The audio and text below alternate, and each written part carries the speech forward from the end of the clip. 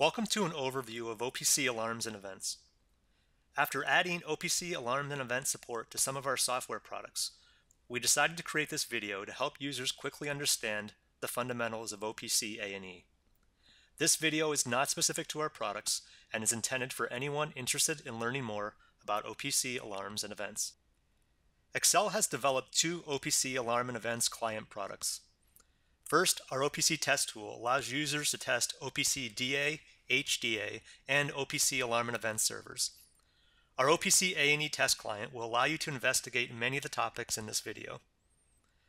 TopView Alarm and Notification software supports many data sources, including OPC alarms and events. Users can monitor and log events for multiple OPC and alarm and event servers, send email, SMS, and voice notifications for specific events, remotely view details from desktop and mobile devices, create event reports, perform analytics, and much more. In the process and automation world, there are two main types of monitoring systems. In a tag-based monitoring system, each measurement or state is identified by a unique tag name. The monitoring system can create a list of tags to monitor, and the current values can be pulled or sent to the monitor. For measurement data, the system can determine if the data value falls within a desired range. In an event-based monitoring system, the monitor receives events about the process as they occur. Event details can include properties such as what happened and when.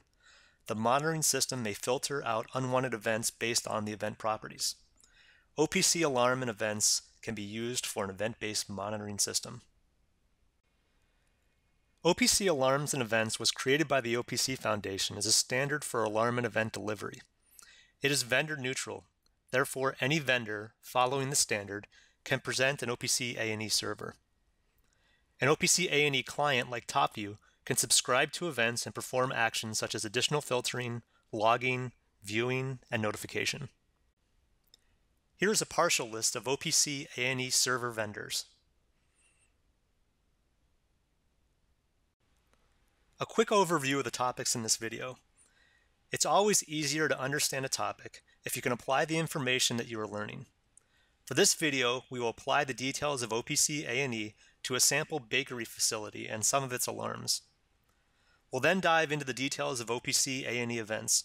We'll start with a summary of the primary event fields and their relationships to one another. Then we'll take a closer look at each event field. Lastly, we'll talk about receiving and processing events through subscriptions. Our example facility is a bakery. The bakery contains two buildings. Each building contains two mixers and one oven. The buildings, mixers, and ovens have names, which we will use to address them in OPC A&E. The mixers have alarms for low and high mixing speed. The ovens have alarms for low and high temperature, as well as rate of change alarm for temperature. Each incoming event contains fields. Each field is a property of the event. There are standard event fields which are part of the OPC A&E specification, as well as optional vendor-specific fields. Most of the event fields are designed to answer the following questions. What happened? When did it happen? What type of event occurred? Where did it happen? And who generated the event? There are five event fields that have a hierarchical relationship that we are designating as the primary event fields. The OPC A&E server is responsible for defining the allowed values of these fields. Let's take a look at the primary fields, their relationships, and how our bakery facility defines the allowed values. The area field is a named grouping of sources. We have defined each of our buildings as an area. The source field is the source of an event. We have defined our mixers and ovens as sources. There are three types of events the event type for alarms is called a condition. Our bakery is only generating condition events. Within an event type, the server can define categories of events. Our bakery has defined two categories of events, level for the high-low alarms and rate of change for the rate of change alarms. A category can only define conditions if the event type is condition. We'll now take a closer look at the event fields. There's three types of events. When people talk about OPC A&E, they're commonly talking about alarms, and that falls under the condition type.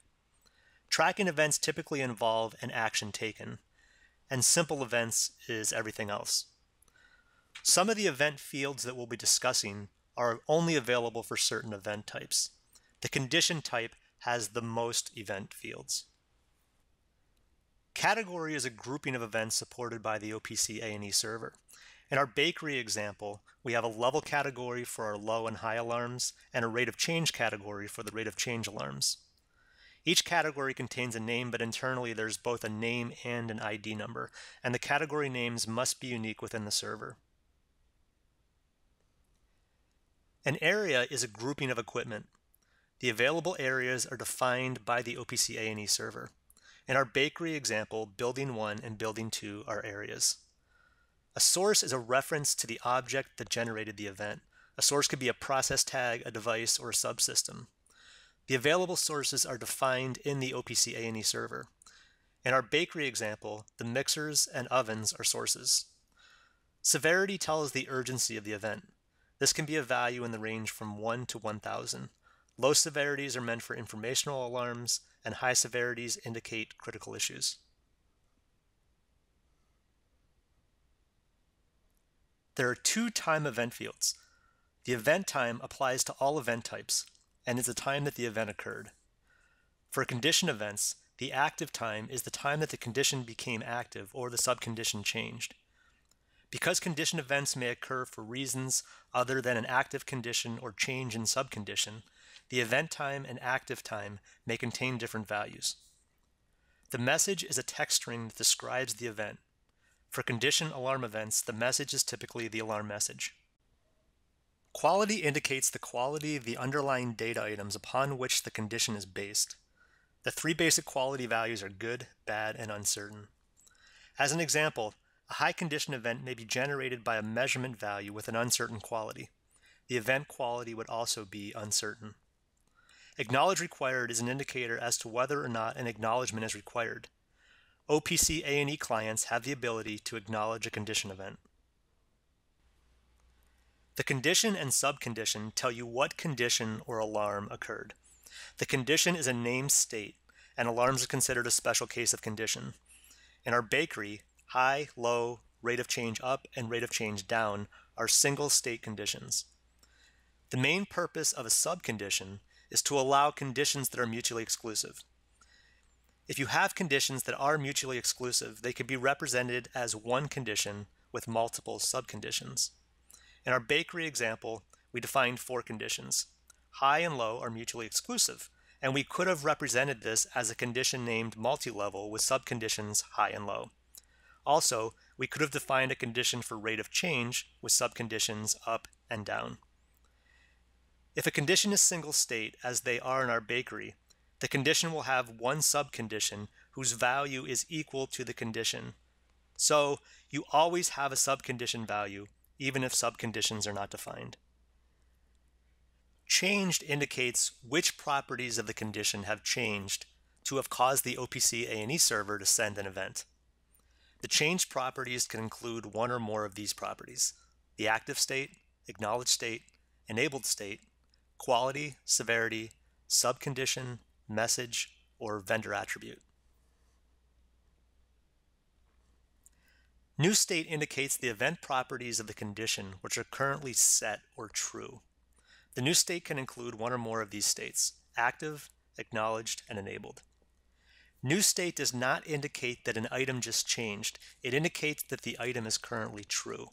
As an example, an alarm condition may occur and then later be acknowledged while the alarm is still active. Two events arrive, one for the alarm active event and one for the acknowledge event. In both events, the new state value of active is true because the condition is active. In the second event, the new state value of acknowledged is also true. Now that we've looked at the event fields, let's look at receiving events. An OPC A&E client can configure one or more subscriptions. Each subscription defines the OPC A&E server, details of the desired events or a filter, and settings that define the details of event delivery. An OPC A&E client does not ask for new events from the subscription. An OPC A&E subscription creates callbacks to the client. As new events occur, the client's method for processing is called with the new events. The purpose of the filter is to reduce the number of events that are sent to the client. Subscription properties allow the client to control some details of event delivery. A few of these settings are requests that can be overridden by the OPC A&E server. As mentioned, the purpose of the subscription filter is to reduce the number of events sent to the client. The filter is optional, but if the client will ignore a majority of the events sent from the server, a filter should be specified. Five event fields can be used in the filter. Event type, category, source, area, and severity. Each filter field can specify one or more allowed values. The area and source fields support masks, where the allowed values can contain wildcards to match one or more characters. Severity is specified as an allowed range of values. Let's look at an example filter for our bakery using all five filter fields. The subscription should return all level condition alarms from ovens in building 1 and 2 with a severity between 500 and 1000. Level is our category. Supported categories are level and rate of change. The type of event is a condition event. The source is ovens. The allowed areas are building 1 and building 2. And 500 to 1000 is our allowed severity range.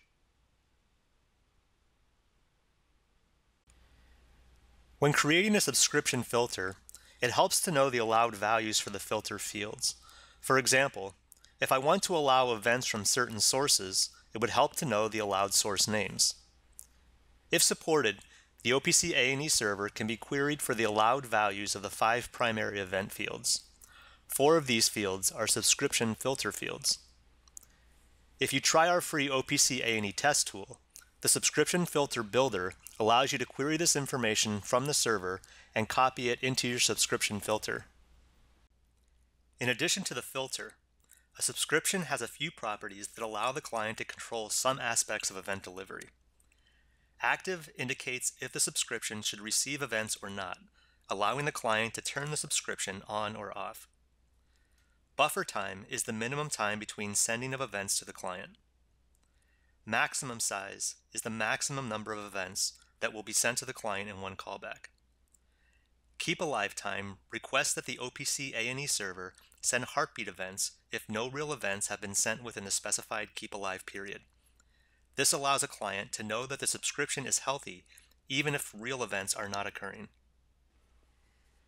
Many OPC A&E clients are interested in alarm condition events. Once a subscription and filter have been configured, an OPC A&E client can start receiving events. Even after specifying a subscription filter that only returns alarm condition events, events may arrive due to conditions becoming active, conditions being acknowledged, and conditions becoming inactive. In an OPC A&E client, the user may only be interested in events where the condition became active. So how can a client analyze the incoming events to detect the alarm condition active events? First, configure the subscription filter to only send condition event types. If this has not been set, you can check the event type of incoming events. Next, check if the current state is active by looking at the new state field. Then check the changed field to ensure that both active and subcondition have changed in this event. So this logic is, make sure we have a condition event whose state is currently active, it just became active, and a subcondition just changed. Thanks for watching, and we hope you now have a better understanding of OPC alarms and events. If you'd like to review the information in this video, we posted it on our website and as a downloadable PDF. Please visit the URL displayed near the top of the screen. Our free OPC test tool and free versions of TopView alarm and notification software can also be downloaded from our website, exele.com.